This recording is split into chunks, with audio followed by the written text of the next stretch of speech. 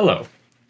Today, I will be reading the general prologue of Geoffrey Chaucer's The Canterbury Tales. The text from which I am reading is the 1952 edition of Volume 22 of the Encyclopedia Britannica's The Great Books of the Western World series, which was published by the University of Chicago and can be found in many libraries. The Canterbury Tales. The Prologue. Here beginneth the book of the Tales of Canterbury. One that April, with the shore sota, the of March hath persed to the rota, and badded every vina in switch liqueur, of which, whereto, engendered is the fluor.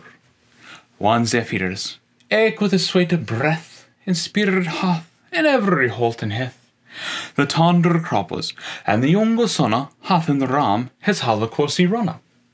And small the fool is maken melodea, that slapen all the with open air.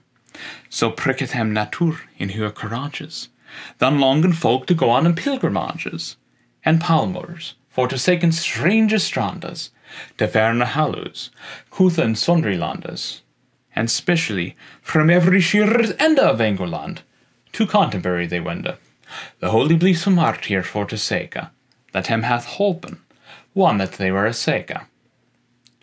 Befell that, in that season on a day, in Southwark at the Tabard, as I lay ready to wenden on my pilgrimage to Canterbury, with full devout courage.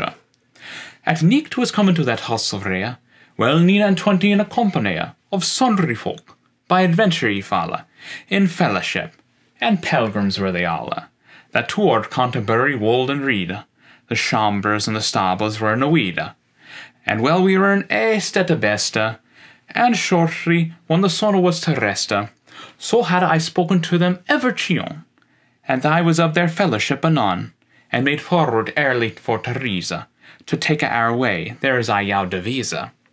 But natheless, while I have Timan spasse, ere that I farther in this tala passa, may thinketh it accordant to raison, to tell ye all of the condition of Abraham, so as it seemed may, and which they weren, and of what degree, and eke, in what array that they were in, and at a connect than while I first begin.